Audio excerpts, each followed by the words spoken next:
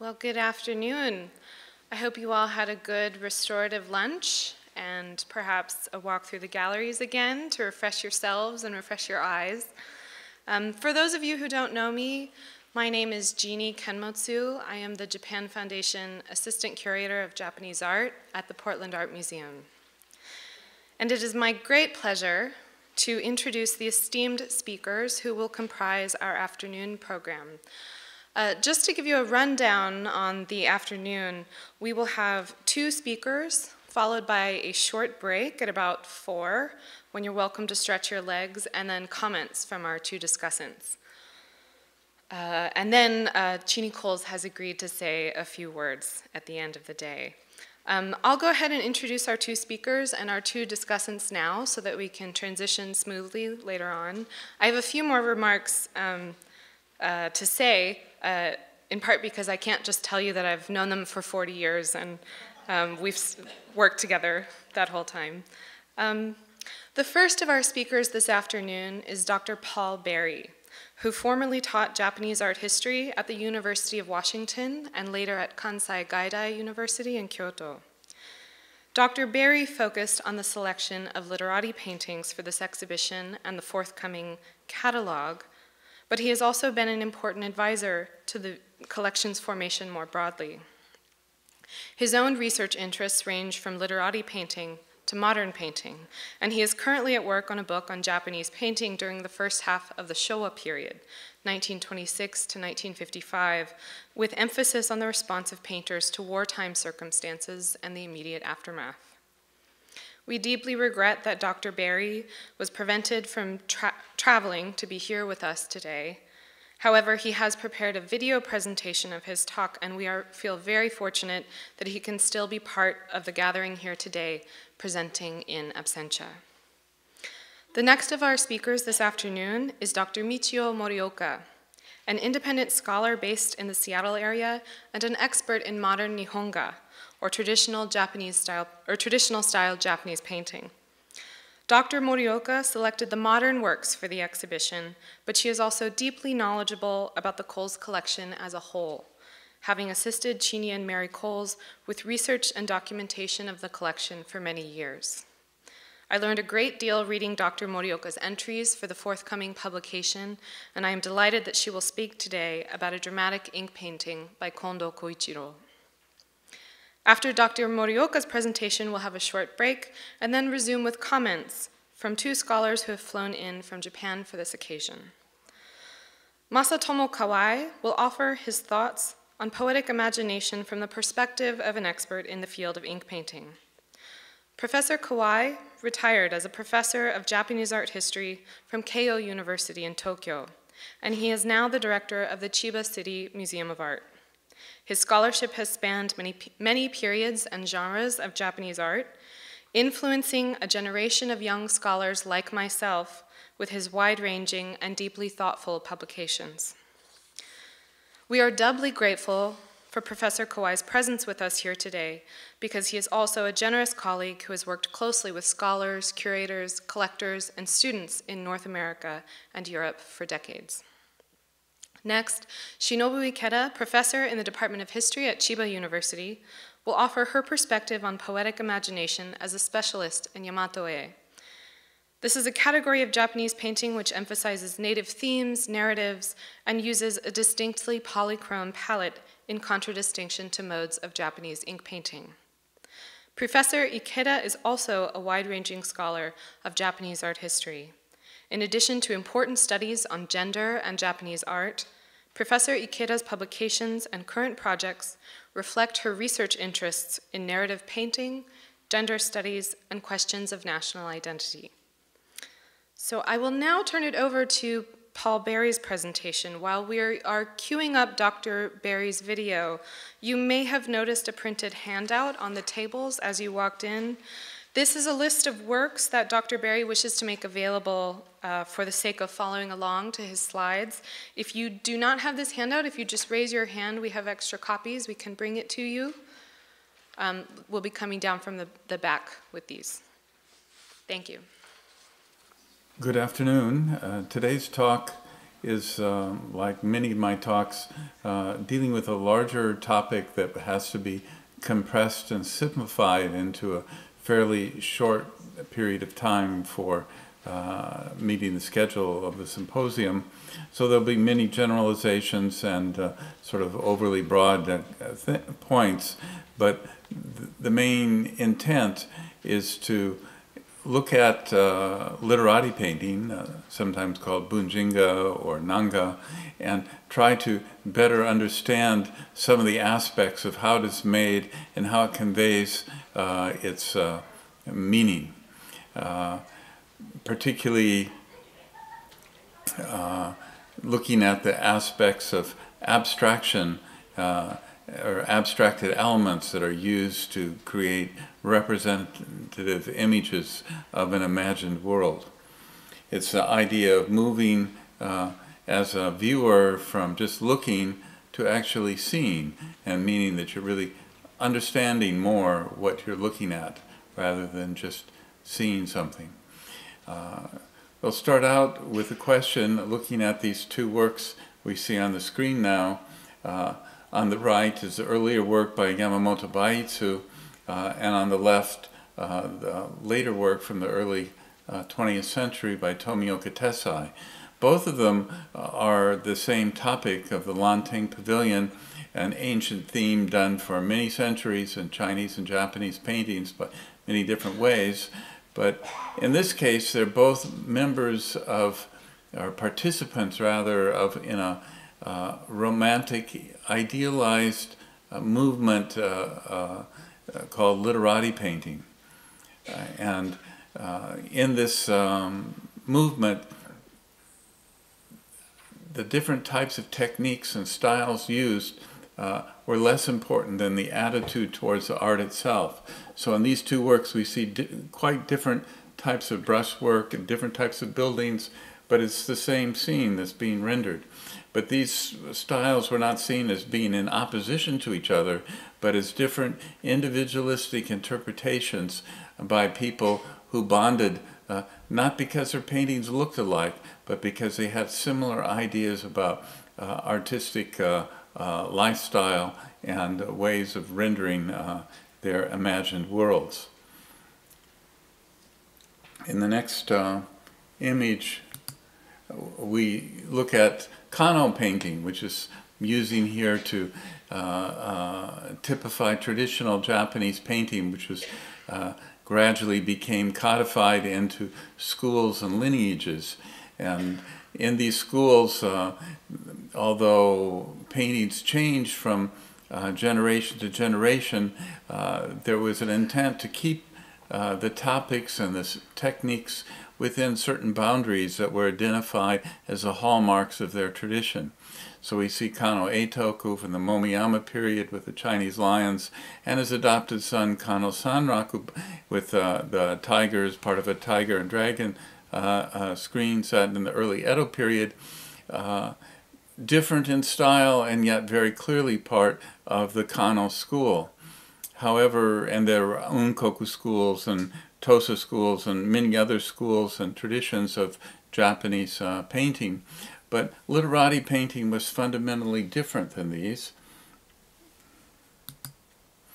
And when we approach that uh, idea of difference, we first need to think about what is a painting and what is representation.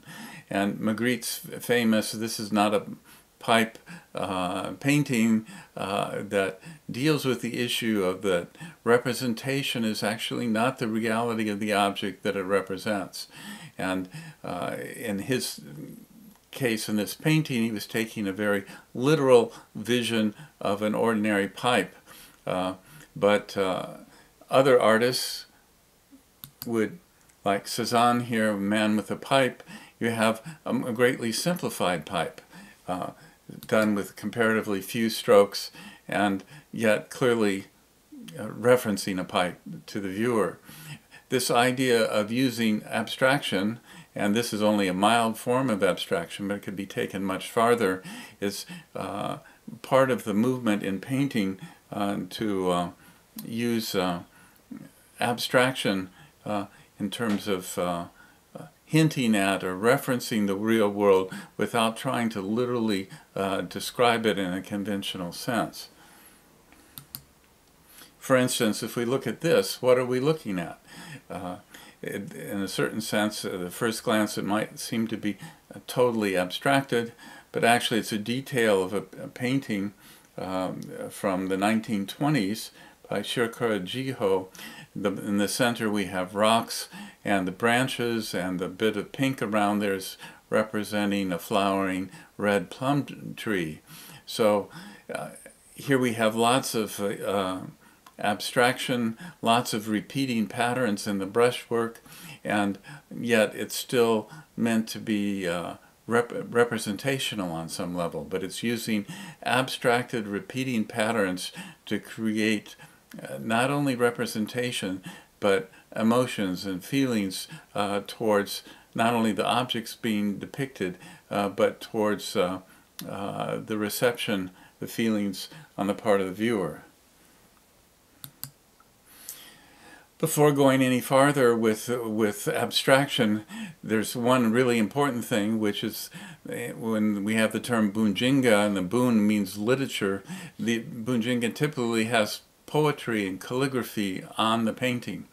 We don't have time to talk about that today, but it's important when we talk about abstraction in literati painting. One of the purest forms of it is calligraphy.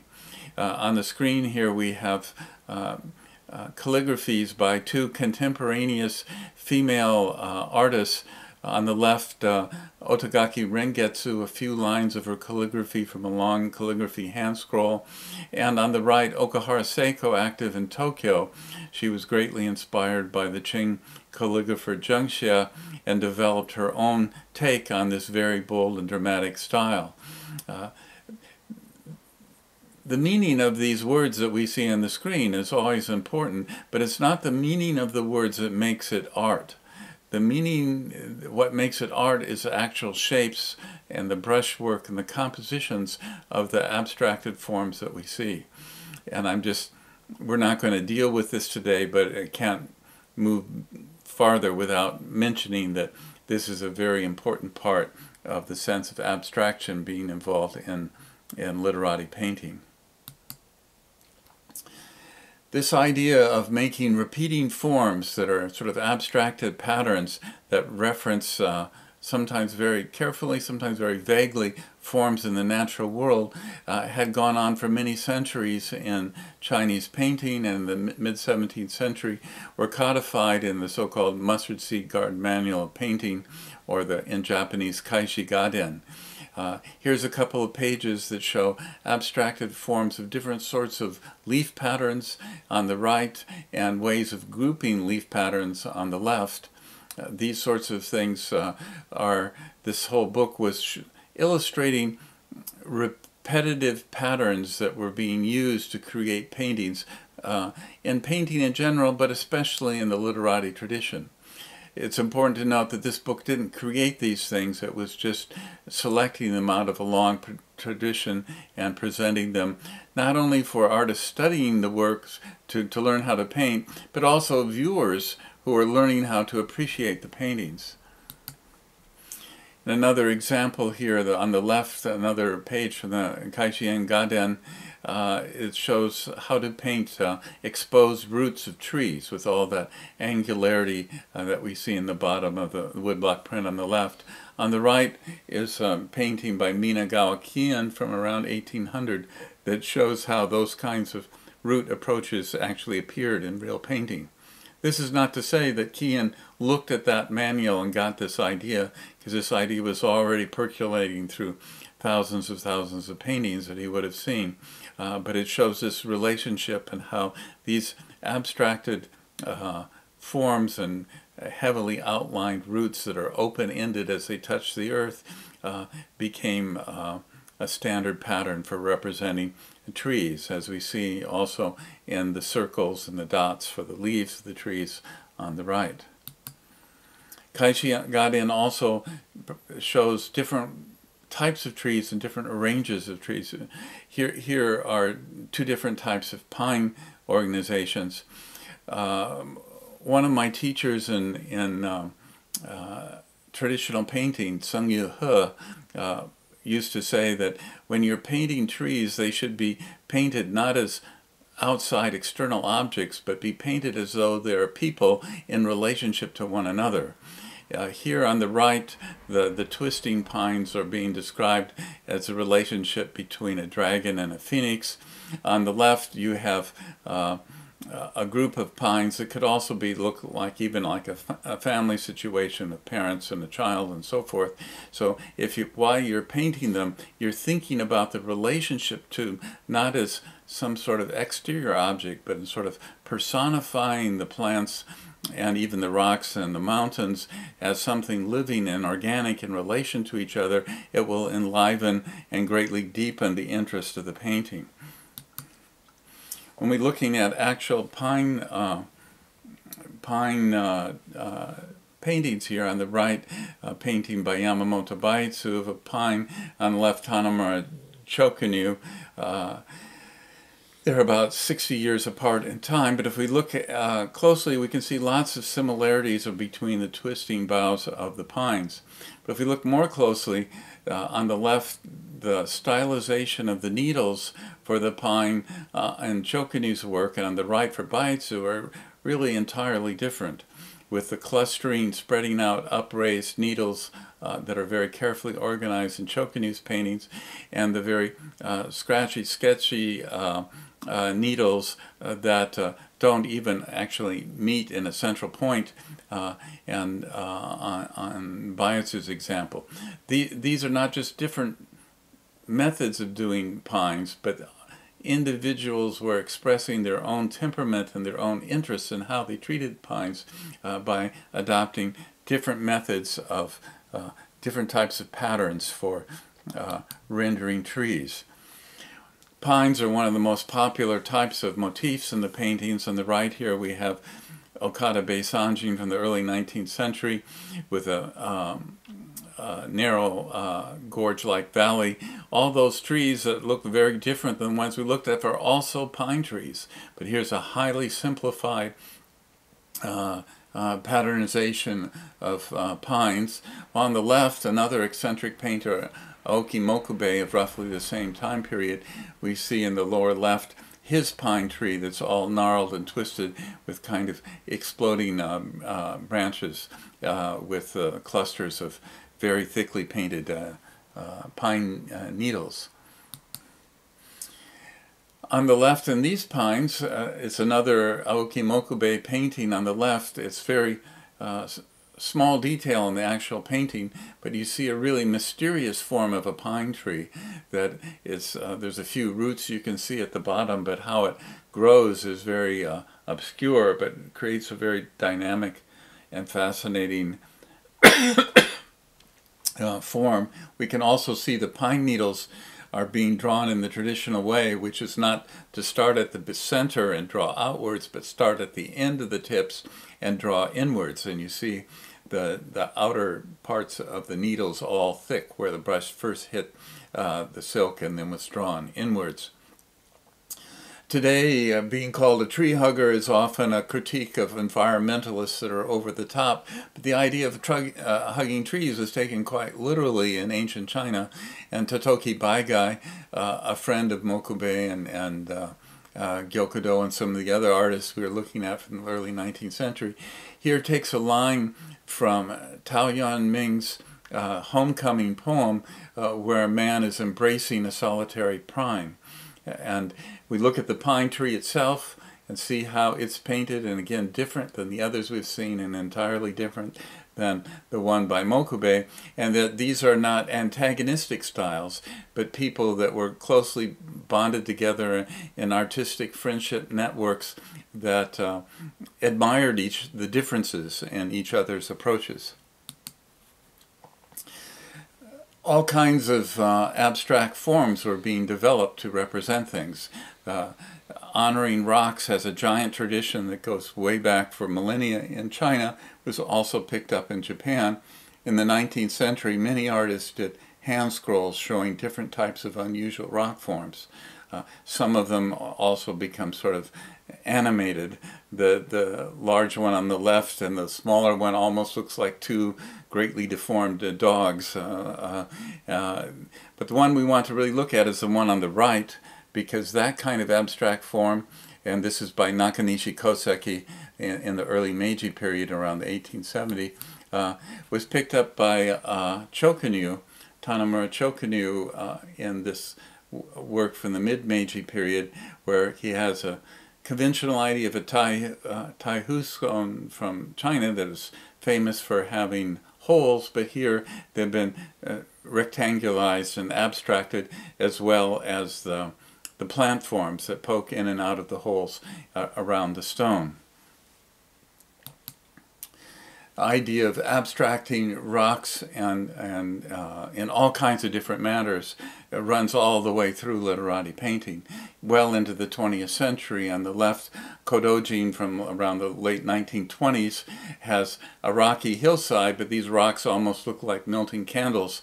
Uh, it's all uh, kind of curvilinear and, and soft with this sort of repeating uh, curvilinear lines and vertical dots, while on the right, Kai Kozan, who had been a very conventional Nanga painter doing more literalistic interpretations of bird and flowers in the Oita uh, province in Kyushu, moved to Kyoto and in the post-war world, when he was in his 80s and 90s, moved towards greater and greater abstraction as we see and these sort of monolithic uh, boulders that seem to be emerging from almost like volcanic ash in a detail of one of his paintings done in 1955 when he was 90 years old.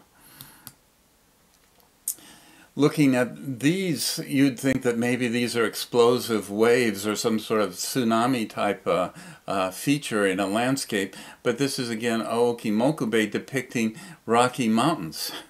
And yet this kind of uh, dots and uh, washes and uh, uh, rough, dry brushwork has such a feeling of movement and energy that it uh, uh, takes the idea of something that we usually think of as very static, like rocks and mountains, and makes it into a volcanic uh, kind of sense of motion and energy.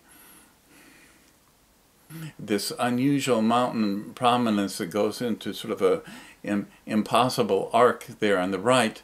But most interesting is to look at the details of the brushwork, where in the center areas and here and there you see things that are actually literally sort of nailhead strokes, but they look a little more like uh, they're tadpoles in a line uh, forming ridges. And you see them here and there throughout this uh, this prominence is something that Taiga never did. Uh, and this uh, use of a very wet looping outline to outline the major uh, profiles of the landforms uh, in a single line that sort of thins and swells and thins and swells is something that Taiga did but was never so free and playful as we find in Gyokuran's uh, work speaking of free and playful, Hosokawa Rinkoku in, in the 1830s and 40s did lots of landscape uh, uh, uh, hand scrolls and hanging scrolls where he used this extreme abstraction for rocks and mountains in a very playful sense of coloration uh, that was quite popular among his literati uh, contemporaries. If you look closely, you also see a little figure riding a cloud off into the distance there, and uh, just to the left of the blue uh, uh peak.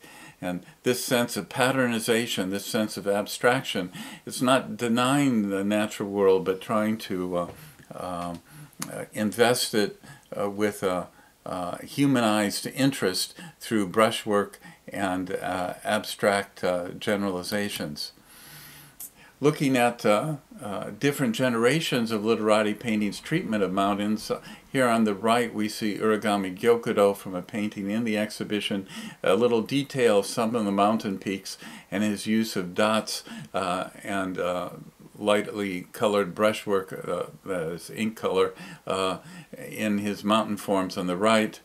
compared with Fukuda Kodojin from the 20th century, from a painting in around the 1920s, where you get an even further abstraction and sort of a, a, thinning of the color in ink so that you get a transparency and a sense of the dry brushwork and colors and, and a sense in both works of sort of a, a vibrating quality of brushwork and dots. Other, other artists uh, like uh, Okochi Yako that we see here uh, uh, developed very unusual types of abstracted uh, uh, landscapes. This is a detail of his painting uh, of a winter landscape, and you see all kinds of amazing abstraction in terms of the brushwork that's representing not only mountains but plants and, and distant vistas and so on. When we turn to figure paintings, figure paintings are, are mythological figures and deities as well as regular humans. In Buddhist figures, literati painters are most attracted to the figure of Kannon. Uh, and uh, Chokunyu in particular did huge numbers of Kannon paintings of all kinds of different sorts. And here we have uh, uh a Kannon uh, seated on a mat uh, with um, Shochikubai, the bamboo, plum, and pine motif there in the uh, uh, bronze pot, along with uh, other kinds of literati type implements all around it. And you see the abstracted uh, Tai Hu stone to the left. This kind of uh, contrast between uh, plants and rocks and the human form uh, was something that Chokunyu delighted in other contemporaries like Yamamoto Chikun in the Meiji period uh, turned Kanon into kind of a, a literatus figure. Uh, here, a very unusual interpretation of Kanon, reading a book with a, a paper and an ink and a brush, uh, all ready to write or perhaps paint on a table uh, next to a vase with uh, white lotuses uh, blooming. And around this we see these dots that we see everywhere in these paintings. Technically, they're called moss dots, but as you can see, they're often not attached to any particular form, but are kind of floating in space. But this kind of abstract repetitiveness uh, is uh, a common feature of the painting that uh, uh you find throughout and is used for uh, creating uh, a certain kind of tension in the painting. Human figures are generally small in literati uh, paintings. They're often some of the smallest elements. Sometimes you have to search to find them. Uh, but when you do, you find that they are painted uh, in rather stereotypical fashion uh, without much detail, uh, but are important for sort of injecting uh, identification of the viewer into the landscape that's being painted. On the left, we have Okuhara Seiko, again from the Tokyo area, from the this time from around the 1880s, uh, doing a blue and green style landscape, and you can see this repetitive tree uh, leaf patterns and the ground forms uh, providing a, a, vibrant context for these uh, figures on the bridge. On the right, Tomioka Tessai from the early 20th century uh, shows uh, a grouping of uh, the deity of uh, immortality, Jurojin with his deer, and other people uh, going through the mountains collecting the fungus of immortality. If we look at the leaf uh, forms, the tree forms, the rock forms, all of these are not literal uh, depictions of actual rocks, trees, or people, but are highly abstracted and creating a world that is a, uh, a visionary one, an idealized one, uh, uh, a world that is very romanticized, but it's romanticization, it's encapsulating those qualities of life and a relation of uh, human society to nature that was uh, uh, emphasized throughout the literati world. Returning to Uragami Gyokudo, and this is a detail of another painting in the show, it's only about uh, one and a half inches wide in the real painting, but here you see a scholar in his studio looking out the window. Uh, behind him, there's a rattan fence that's sort of fencing in the yard. There's a bit of bamboo around them, and you see these, again, this uh, uh, scratchy, uh, dry brushwork. It's one of the signal features of his use of repetitious dots, and there's lots of dots here, is the dots are all different from one another. There are some painters, when they're doing dots, the dots all resemble one another, but in uh, Gyokudo's uh, approach, virtually every brushstroke is different than the one next to it, which is actually extremely difficult to do, as there's a tendency to get into very standardized patterns. Other literati paintings will focus a bit more on the figures. Matsumura Goshun uh, uh, has multiple versions of the same theme of a fish market. This is one of the most successful of these versions. And if we look at the faces of the people, we see that they're constructed of heavy outlines, similar noses and eyes and so forth, so that there's much alike. And yet when you look at them, there's actually all these different personalities and uh, different sense of excitement, people of different ages, and the one man under the uh, the fish on the hook on the left who looks a little bit, why am I here? Why everyone else is uh, so excited about uh, the, the fish being sold. Kameda Bosai, another uh, of the more eccentric uh, figures in the literati movement, uh, in again in the early 19th century, has this uh, figure of a strolling scholar with his long sleeves swept beside behind him as he's sort of pensively looking over the edge of a cliff towards a waterfall, and this extreme simplification, patternization, but again, the repeating strokes are all very different one from another, so that you get this sense of a uh, vibrant variation uh, of the foliage that surrounds uh, this elongated figure uh, that uh, is a dreamlike figure, as so many of these are. Moving back uh, to the 1920s, there's another interesting painter who uh, Shirokuro Jiho that we looked at briefly earlier uh, has this array of figures. It's all based on a Sung Dynasty poem by uh, Wang Anshi, uh, but uh, what's remarkable here is the treatment of the figures, and they're very abstracted and simplified. Some of them seem semi-transparent, but they're also surrounded by this uh, dark nijimi of the ink, uh, spreading, rippling out through the fibers of the paper, creating this very mysterious atmosphere that embraces each figure. And while the clothing is largely the same, as you look at figure to figure, it's easy to get a sense of a different personality and a different attitude to each figure seated around this large rounded stone. Uh, this uh, sense of abstraction and yet intense feeling of human personality being depicted at the same time is one of the achievements of uh, some types of literati painting. Finally, uh, you could look at this painting and you could see these two people standing next to each other and it's like uh, uh one man pointing and said, just how many dots are there here? And the other person laughing in, in response. If you see the whole painting, which I encourage you to do, it's in the exhibition, they're actually looking up at a waterfall. But it's also connected to a poem that has uh, by a famous Tang Dynasty Li Bo uh, poet who uh, in the poem there's a line, they ask me why do you live in these green mountains and there is and I laugh but do not reply. And so you're getting a sense of the man laughing, you know. He could be laughing about anything. He could be laughing about that very question.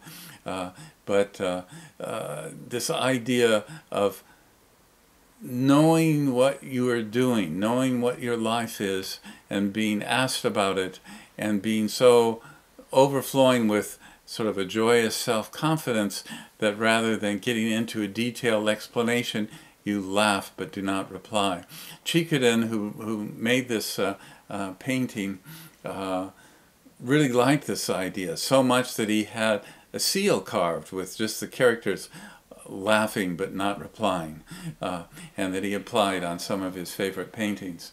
Uh, here uh, we see it encapsulating his attitude, not only in this painting, but towards many of the works that he created.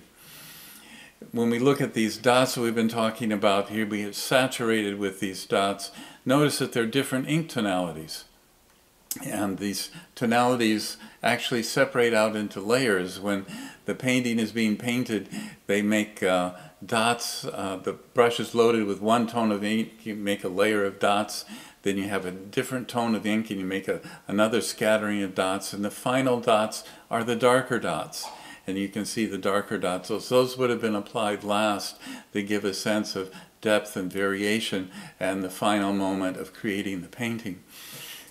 and yet, and looking at it, it wasn't really to show two men surrounded by swirling dots, although literally that's what they are, but what we have really is uh, sort of this uh, sense of vibration of the mountain valley they're in, and the, the dots giving this uh, sense of not impressionist type of dots. It's not meant to replicate what we're actually seeing in the impressionist sense, but it's much more a metaphorical uh, sense of uh, depicting energy in plants, animals, rocks, and mountains that is interacting uh, with uh, the people in the painting and the people looking uh, at the works.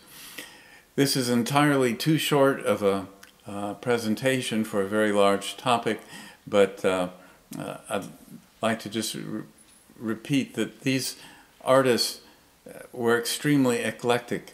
They bonded not because they were painting in the same way, they were bonding because of their attitudes towards painting. The friends had radically different styles from one another, and they enjoyed that difference. And this was uh, uh, made it not a, a lineage, not a school, but a movement, an idealistic movement. And part of the means of doing this was uh, uh using abstracted patterns to create representations of not the actual world, but of an imaginary world that was there uh, that expressed the ideals that they believed in in terms of lifestyle, poetry, and, and uh, attitudes towards life and nature. Thank you very much.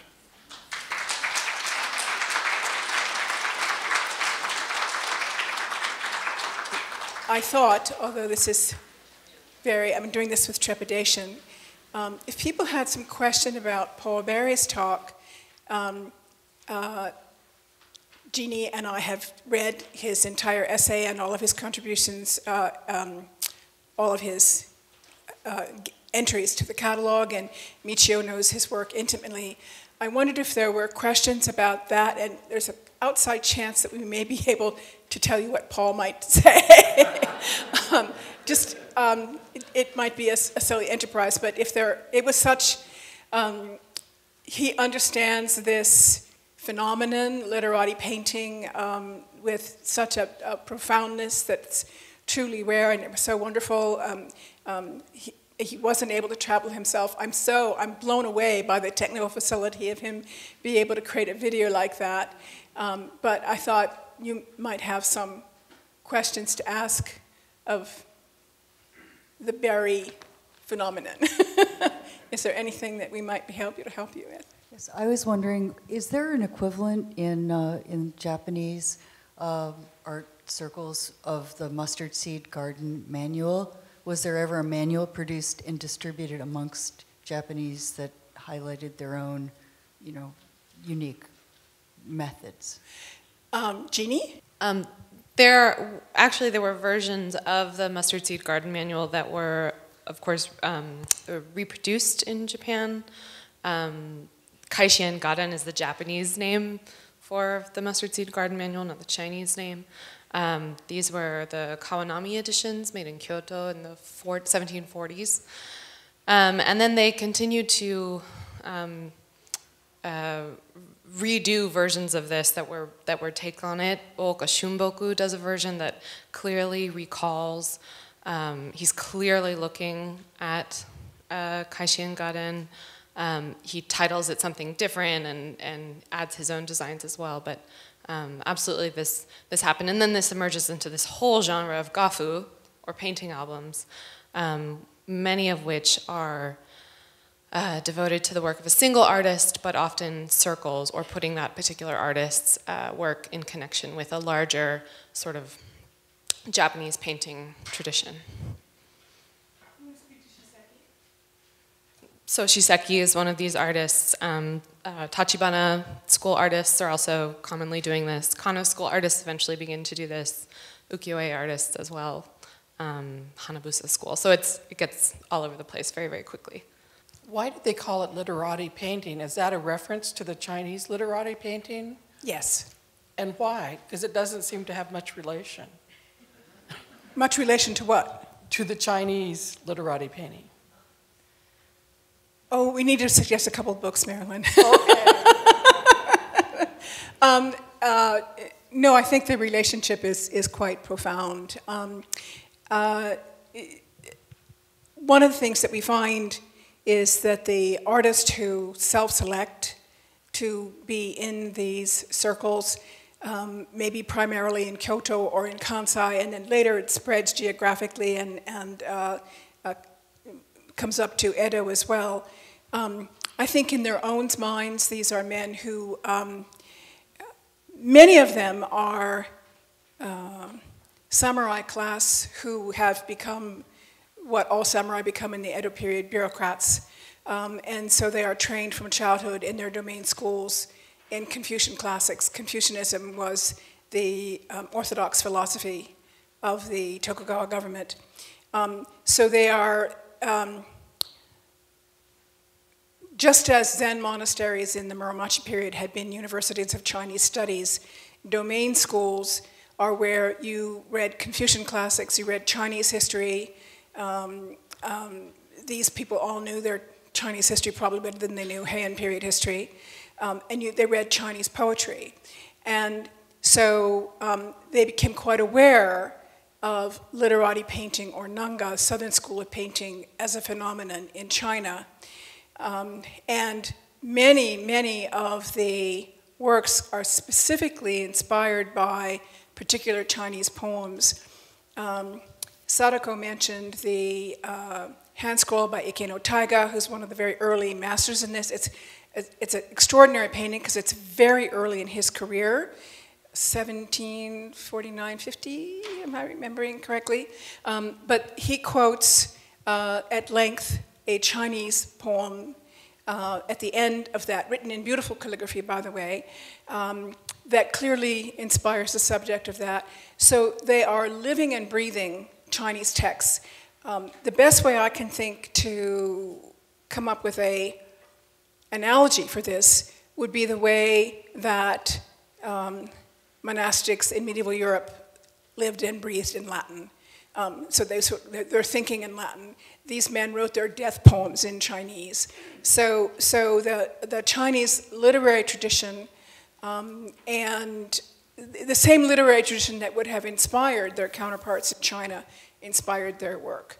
And one of the things that's often said about literati painting in Japan, it's often spoken of in terms of generations. You sort of have uh, soft entry with uh, Gion Nankai, Minagawa Kien, Anyway, three guys. Um, and uh, uh, Kofuyu, maybe? And at any rate, people who um, self-identify as sinologists, and they, um, Sadako mentioned artists who sort of took up the study of Chinese antiquarianism, they start seal carving. Um, they essentially fashion themselves as Sinophile literati. Um, and then sort of the first full blossom generation is Ike no Taiga and Yosa Buson. And in their early careers, their knowledge of Chinese literati painting, which they sort of set up as a model, um, is uh, material that's known to them primarily through imported, port, imported printed books, um, and a li- less, but a little bit of theory. Um, and one of the things that Paul Berry points out in his essay for the catalog, so this is good, I can talk about his work, is um, that there's a certain accept, degree to which anything that's Chinese is going to be of interest to them. So we see uh, Japanese artists eagerly uh, flocking to Nagasaki when a Chinese ha- merchant comes in who happens to paint. And even if that person is painting in a style that Orthodox Chinese literati wouldn't consider literati, the Japanese are not sort of making a clear distinction because they they haven't been schooled in the sort of Chinese categories. Um, anyway, that's kind of uh, second half of the 18th century. And by the time we get to the early 19th century, Yamamoto Baiitsu, who does the wonderful um, Orchid Pavilion gathering, the work that we have blown up in the um, sculpture court, um, and uh, anyway, by the time we get to his generation, now there are in Japan collectors who have, have put together uh, interesting collections of honest to God Chinese literati paintings. So now they can look at real Chinese paintings in this school, um, and their knowledge then, their sense of brushwork, their sense of color harmonies um, becomes much more refined. Um, and one might also say, um, it, it is certain more refined, kind of tidier, perhaps, depending on the artist. Not true of, not true of all of them. Um, but I think that one of the points that Paul makes in his essay is that uh, because Japanese artists were, you know, at a distance from the Chinese models, they, they it ends up being a tradition um, that is is more varied and more free than the way that it progresses in China. But it does evolve over time. But it's um, they do see themselves, I mean, they are scholars. Um, many of these guys, Rai Sanyo, Tanomura Chikuden, were scholars who wrote histories. Rai Sanyo wrote one of the most influential early histories of Japan. Tanomura Chikuden wrote a history of his own domain. Um, they saw themselves as literatists, a liter- literati for the plural, and it, it, was very much core to their identity. Michiyo, would you want to? What question? Uh, I somewhere read that uh, the Japanese were bringing in paintings by Lan Ying fairly early on. Is there any truth to that? Uh, or more, are there any Chinese paintings that have, can be proven to, literati type, been proven to have been brought in in the 17th century?